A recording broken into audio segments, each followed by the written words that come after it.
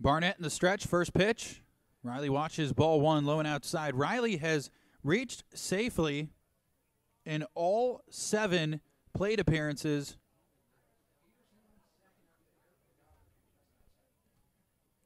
Three for three with four walks. Peterson leads off second. Barnett delivers the 1 0.